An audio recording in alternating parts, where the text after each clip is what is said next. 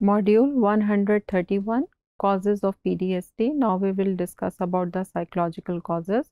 Psychological causes वो causes हैं जो कि हम कहते हैं कि that might be contributing towards the psychological distress. ठीक है तो उसके अंदर uh, there are different things जिसके अंदर जो पहली चीज़ है that is the perceived life threat. अब perceived life threat क्या है कि बच्चा एक ऐसे environment में रह रहा है जहाँ violence हो रहा है ठीक है जहाँ बच्चा जो है वो अपने आप को सेफ़ फील नहीं कर रहा।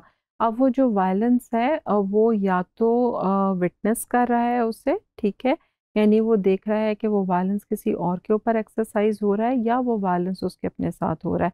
ठीक है? तो जब लाइफ थ्रेटनिंग सिचुएशन के अंदर बच्चा रहता है तो उसकी वजह से जो है वो प्रॉब्लम उसको पीडीएसडी का आ सकता है। इसके साथ साथ जिस तरह नेचुरल डिज़ास्टर्स होते हैं, जैसे फ्लड है या अर्थक्विक है तो वो ऐसी लाइफ थ्रेटनिंग सिचुएशन है जिसमें बच्चे को ये फील होता है कि माइट बी ही और शी कैन बी डाई या उसका जो केयर गिवर्स हैं या उसके जो पेरेंट्स हैं might be something bad can happen to them और समटाइम इट हैपेंड तो इस तरह के जो परसीव्ड लाइफ थ्रेटनिंग सिचुएशंस होते हैं जब बच्चा वहाँ पर होता है और वो उन सब चीज़ों को एक्सपीरियंस कर रहा होता है और बहुत करीब से देख रहा होता है तो उस वक्त जो है आ, हम कहते हैं कि पीडीएसडी होने के चांसेस बच्चे के अंदर हैं। इसी तरह पर्सनल इंजरी बच्चे के साथ कोई एक्सीडेंट हो गया है जिसके अंदर उसको इंजरी हुई है ठीक है? उसकी वजह से भी जो है आ, हम ये कह सकते हैं कि पीडीएसडी जो है वो अकर करता है। अब पर्सनल इंजरी के अंदर वो एक्सीडेंट के साथ इंजरी भी हो सकती है। वो इसके अलावा आ, किसी एनिमल ने अगर उसको बाइट किया है तो उसकी भी इंजरी हो सकती है। आ, या अगर आप ये कहें कि बच्चे को सेक्सुअली असॉल्ट किया गया है या उसको सेक्सुअली अब्यूज़ किया गया है या उसे फिज़िकली असॉल्ट किया गया है तो उसकी वजह से भी जो इंजरीज़ है, वो भी हो सकती हैं।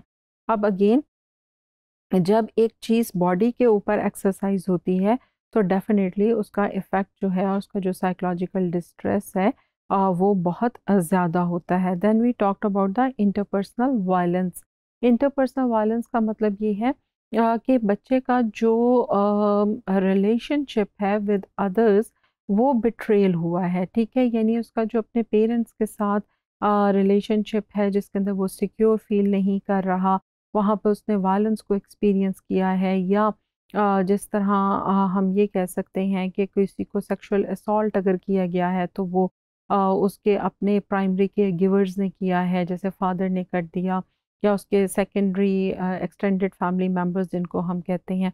उन उसमें से किसी शख्स ने कर दिया तो जो वो इस किस्म का इंटरपर्सनल रिलेशनशिप्स हैं जब वहाँ पर वो वायलेंस को एक्सपीरियंस करता है तो उस वक़्त जो है वो बच्चा पीडीएसडी को एक्सपीरियंस कर सकता है। इसके अंदर आ, आ, बच्चे के आमतौर पे टीचर्स भी जो हैं वो भी आ जाते हैं जो बंदा उसको पढ़ा रहा है। जैसे आपने बहुत से केसेस भी ऐसे सुने होंगे या इसके साथ साथ उनका नेबरहुड में अगर कोई है जिसके साथ उसका रिलेशनशिप है और उसका इंटरेक्शन है और उसके बाद वो रिलेशनशिप जो है वो वायलेंट हो जाता है इन एनी टर्म्स तो उसकी वजह से भी पीडीएसडी जो है वो अकर हो सकता है।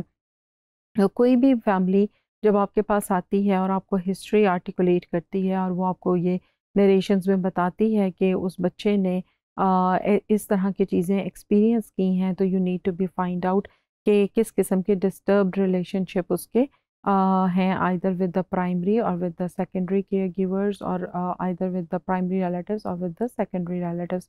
So you need to be understand all these things.